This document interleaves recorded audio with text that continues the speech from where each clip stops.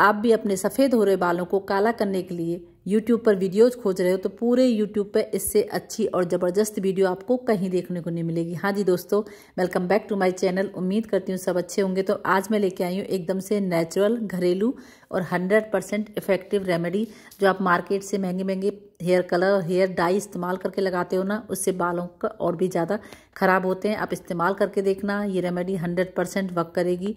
इसे लगाना भी आसान है और बनाना भी। इसे हफ़्ते में आप दो बार लगा सकते हैं, बना के रख सकते हैं, कोई परेशानी नहीं है। तो इसके लिए हमने लिए एक ले लेना है बीटरूट हाँ जी, चुकंदर और एक इंच भर हमने टुकड़ा लिया है अदरक का और एक छोटा सा लिया है हमने आंवला।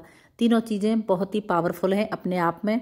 हमारे बालों को नेचुरल कलर देंगी, बालों की जो आंवला है वो बालों को काला भी बनाता है, ग्रोथ भी अच्छी करता है। मतलब रामबाण कह सकते हैं हमारे बालों के लिए आंवले को। और अदरक का जूस भी बहुत ज़्यादा पावरफुल होता है और बीटरूट को। तो मैंने सबको अच्छे से वॉश करके, पहुँच के फिर कद्दूकस कर लिया है तीनों चीज़ों को। एक बीटरूट है, एक इंच भर टुकड़ा अदरक है और एक छोटा सा हमने आंवला लिया है। अब आपको एक गिलास पानी चढ़ा देना है गैस पर। हाँ जी, इस बात का ध्यान रखें, जो हमारा ये रेमेडी जो तैयार हो रहा है सोल्यूशन इसको आपको धीमी गैस पर बॉईल करना। पहले मैंने तेज़ गैस पर पानी बॉईल कर लिया है। अब इसमें डाल दूँगी मैं अपनी ये सारी चीज़ें जो मैंने कद्दूकस की हैं। और इसको हमें धीमी गैस पर उबालना है। इसको बनने में तकरीबन पाँच से छः मिनट लगेंगी। तो इसके लिए सबसे पहले मैंने डाला इसमें दो चम्मच चाय की पत्ती। ये हमारे बालों में को बहुत अच्छा कलर देती है, ब्लैक भी बनाती है, शाइनिंग भी देती है। और इन्फेक्शन वगैरह को भी ख़त्म करती है। और उसके बाद हम सारी चीज़ें जो हमने तीनों कद्दूकस की हुई हैं, बीटरूट, आंवला और अदरक, इन सबको अच्छे से इसमें डाल देंगे और धीमी गैस पर हम इसको, जो हमारा प्रोसेस है, ये चलेगा धीमी गैस पर उबालेंगे। पाँच से छः मिनट इसमें लगेंगे। अब इस, जो आप बाज़ार से ला करके महँगी महँगी चीज़ इस्तेमाल करते हो, उनसे बाल कुछ टाइम के लिए अच्छे होते हैं दोस्तों, लेकिन उसके बाद हमारे बालों का ना सत्यानाश हो जाता है। हमारे बाल पूरी तरह से ख़राब हो जाते हैं, बहुत तेज़ी से सफ़ेद होते हैं। सफ़ेद होने के साथ साथ आपने देखा होगा, बाल ड्राई भी हो जाते हैं, बाल रूखे सूखे होते हैं, बाल टूटने और झड़ने भी लगते हैं। इसके बाद मैं इसमें डालूँगी एक चम्मच तकरीबन कलौजी कलौजी और ये है एक टुकड़ा रतन जोत, आपको आज आराम से मिल जाएगी पंसार की दुकान से। ये सारी चीज़ें इतनी इफ़ेक्टिव हैं। अगर इस रेमेडी को बना के आप हफ़्ते में दो बार लगा लोगे, बना के भी रख सकते हैं, कोई दिक्कत नहीं है इस रेमेडी को। तो आप पंद्रह दिन में आराम से यूज़ कर सकते हैं। तो सारी चीज़ें बहुत ही ज़्यादा अपनी अपनी जगह पर पावरफुल हैं। मैंने इसमें बीट रूट एक आंवला, एक इंच बड़ा टुकड़ा अदरक और रतनजोत कलौजी पाउडर और चाय की पत्ती डाली है। सारी चीज़ों को बनने में, उबलने में ताकि पाँच से छः मिनट लगे धीमी गैस पर। बहुत बढ़िया सोल्यूशन तैयार हुआ है। मैंने इसको छान लिया है। कितना प्यारा कलर आ रहा है अभी। और मैंने इसको छोड़ दिया था तकरीबन पाँच मिनट के लिए। देखो, लोहे के बर्तन में इस रेमेडी को आपको प्रिपेयर करना है। सिर्फ़ लोहे के बर्तन में। अगर आप बाल काले करना चाहते हो ना तो मेरे कहने से लोहे का बर्तन लें। जो भी आपके पास हो, नहीं है तो आप खरीद लो।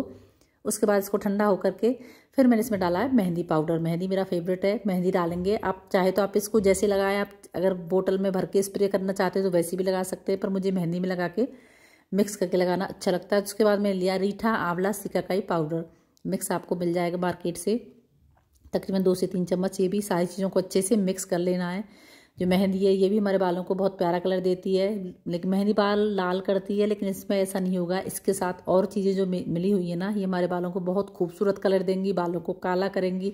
इसके साथ साथ जो सारी चीज़ें हैं, बालों की मतलब जितनी भी परेशानी होती है ना, डेंड्रफ की होती है और इचिंग की रहती है, बाल टूटने झड़ने की होती है बाल सिर गंजा होने की भी होती है, बाल सफ़ेद होने की भी होती है, सारी समस्याएँ खत्म होकर आपके बाल काले, घने, लंबे और खूबसूरत बनेंगे।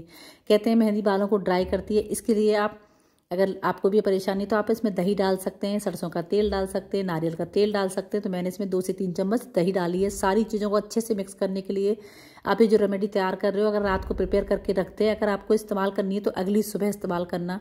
देखना कितना बढ़िया कलर आपको देगी ये। तो अब इसको बना करके मैं रख दूँगी। तकरीबन ये मैंने साथ के साथ बनाई है, वीडियो बनाने के लिए, वरना मैं हमेशा एक या दो दिन पहले बना के रख देती हूँ, उसके बाद इस्तेमाल करती हूँ। अब देखना, इसका कलर अभी हमने ऐसी छोड़ी है ना, और जब इसको देखोगे ना, अभी सिर्फ़ तीन घंटे हुए हैं इसे। तीन घंटे में इसका colour red, dark, brown, dark maroon था, उससे ऐसा कलर हो गया है। अगर मैं पूरी रात छोड़ूँगी, उसके बाद अगले दिन या दो दिन बाद इस्तेमाल करूँगी तो कितना बढ़िया हमारे बालों में ये कलर देगी। आप बाज़ार से जो डाई लेके आते हैं, हेयर कलर लेके आते हैं, वो हमारे बालों को और ज़्यादा ख़राब करते हैं। इसे चाहे बाल आपके सफ़ेद हो रहे हैं तो भी इस्तेमाल कर सकते हैं। अगर आपके बाल सफ़ेद नहीं हो रहे हैं तो भी आप इसे प्रिकॉशनली इस्तेमाल कर सकते हैं। इससे बाल सफ़ेद नहीं होंगे। सारी चीज़ें नेचुरल हैं। सारी चीज़ें बहुत पावरफुल हैं। आपके बालों को काला, घना, लंबा बनाएँगी। अब लगाना कैसे? आपको इसको लगा लेना है।